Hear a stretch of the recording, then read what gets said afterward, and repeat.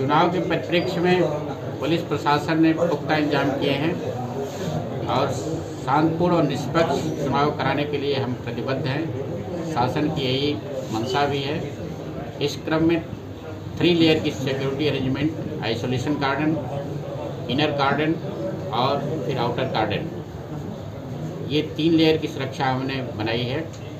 सभी पर राजपत्य अधिकारी और मजिस्ट्रेट रहेंगे।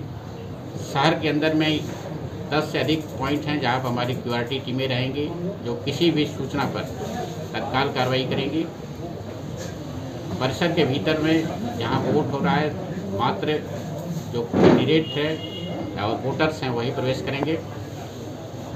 स्पष्ट रूप से बताया जा रहा है कि कहीं पर भी शांत व्यवस्था के साथ कोई समझौता नहीं होगा और इस पूरी प्रोसेस में यदि कोई व्यवधान उत्पन्न करेगा तो प्रशासन उसके विरुद्ध सख्त कार्रवाई करेगा।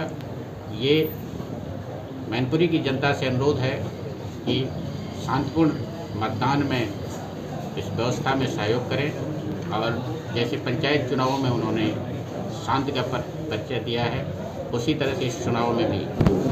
सर बाहर से आने वाले लोगों के लिए कोई जनपद से जो बाहर कल आएँगे मैनपुरी में उनके लिए कोई प्रतिबंध रहेगा? बाहर से आने वाले प्रत्येक रूट पर हमारी टीमें रहेंगी और चेकिंग के साथ साथ उनके असलहे अवैध या फिर बाहरी लोग इनका प्रवेश पूर्णतः प्रतिबंधित रहेगा। धारा एक सौ चौवालीस के तहत जगह जगह पर चेकिंग इस समय भी चल रही है और कल भी चलेगी और अपराधी तत्वों पर निगरानी के लिए पूरे जनपद में चेकिंग कराई जा रही है और कल भी पूरा रहेगी